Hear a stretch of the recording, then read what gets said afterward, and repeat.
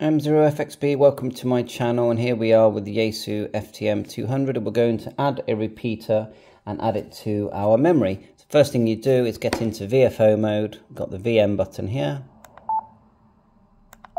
like so, it says VFO and we're, we're in the A band. So A and B here, you see a big white A there. Let's type in the frequency just using our microphone. So we'll go 1, 4, five, six hundred. That's GB3WR for me. Simplex at the moment. We could turn on automatic repeater. Just tap in F and see ARS. Just turn the channel knob to ARS, push it, and then turn the channel knob till it says auto. So we're now going to automatically put those shifts in. Not that it's shown here automatically but we can go in and select it as well. So push F menu as well. Let's get our tone in. The tone for that repeater. So it says squelch there on the uh, highlighted in orange. Just push that. Turn it to uh, tone encode. If you want CTC it, tone squelch, just turn it one more. Tone encode is more like just when you transmit. Tone squelch, it will it will squelch out the noise on the receive as well. But I just put it on encode because I like hearing the, the beeps select with the channel knob, go to tone where it says 100 at the moment, push it and turn it to 94.8. Select. So we've got our tone selected and repeater shift and frequency. Just back out now. We do need to go back in for our repeater shift because it didn't automatically do that for some reason. So we'll hold down the button here and I'm pretty sure it's 25 there you go. 25 repeater shift. Push the channel knob. It does say auto but it didn't do it automatically so we're going to put in minus. Then we'll go to the frequency the shift which should be 600 it's yeah it's already defaulted but you turn the channel knob to 600 now on 77s it will be 7.6 Right, next thing is just to see if it works. Mike Zero Fox X-Ray Bravo test.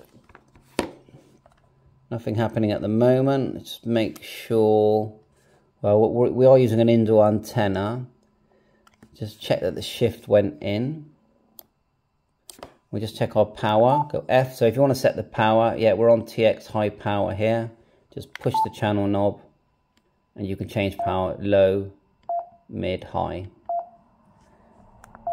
Let's just try one more time. So we've got our tone on, our shifts in, we're on FM, and let's change FM, push the DX here, look. Keep pushing the DX, that's DN, FM. We want FM there.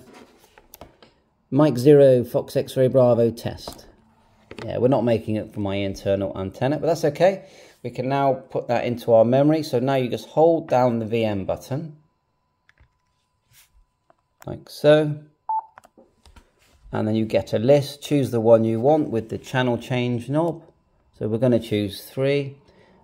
Push the channel change knob and click write so that the memory's in there. Now if we go VFO then memory and we turn the memory. Look number three is there but we still want to name it. So now what we're going to do is hold down the VM again. And but we're going to turn the channel knob back up and select the 003 channel, push the button, and this time instead of selecting write, we're gonna we could delete it, but we're gonna click edit. Then we go down to tag, push the channel knob again, and then we're gonna put in the letters. If you want capitals, let's have a look. Go all the way here, there's caps there. Right, go back, and it's GB3WR. B. Go backwards is quicker to get to the numbers. 3.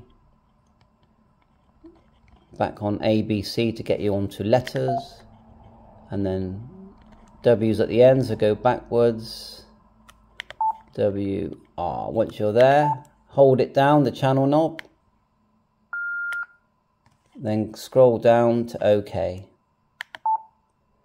click OK. And that's it. It now says GB3WR. That's your repeater stored and stored into memory as well. Bye for now, 7.3. Thanks for watching my channel. Catch you on air.